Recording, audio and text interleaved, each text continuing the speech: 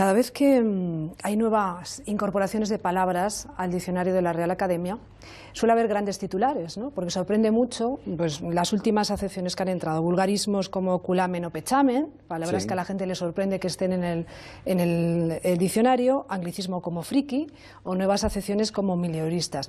Imagino, eh, señor Villanueva, que habrá mucha discusión entre los académicos a la hora de decidir qué palabras o no entran en el diccionario. ¿Es así? Sí, sobre todo yo lo que quisiera eh, que se nos admitiera es que cualquier decisión que tomamos en relación a las palabras que entran en el diccionario no es resultado ni de un capricho, no es resultado eh, tampoco de una eh, tendencia maniática, ni mucho menos de ganas de molestar a los hablantes del español. Es decir, las decisiones se toman después de un estudio muy profundo eh, a base de lo que nosotros llamamos el corpus del español del siglo XXI, que consiste en una gran base de datos en la que cada año metemos 25 millones de formas del español. No son 25 millones de palabras, porque no hay tantas, son 25 millones de realizaciones de las palabras del español, un 70% tomadas de América y un 30% tomadas de España. La fuente es el periodismo, es también la literatura, por supuesto, la medicina, la economía, la política, etc.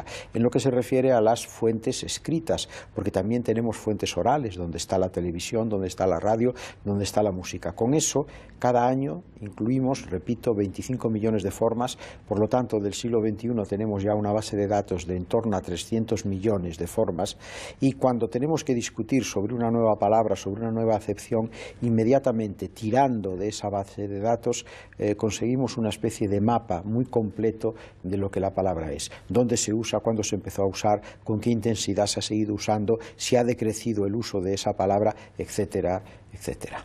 Díganos alguna palabra que no haya pasado el filtro de los académicos. Bueno, quizás la, más eh, llamativa es selfie. Eh, porque selfie es una palabra que responde a una moda que entre nosotros es bastante reciente. Eh, por lo tanto, hemos preferido esperar. Eh, el concepto de selfie, inglés, es lo mismo que nosotros en español podríamos perfectamente definir como autofoto, es decir, una foto que se hace uno a sí mismo, ¿no? Pero eh, hay palabras que yo llamo palabras globo, hay palabras que de repente irrumpen con una gran fuerza y suben y ascienden con gran rapidez eh, porque obedecen a una moda y luego se desinflan, igual que los globos, y vuelven a caer y a veces incluso desaparecen por completo. Conviene en el diccionario tener una cierta prudencia temporal. Antes de incluir un neologismo, una nueva palabra, esperar un periodo razonable de tiempo.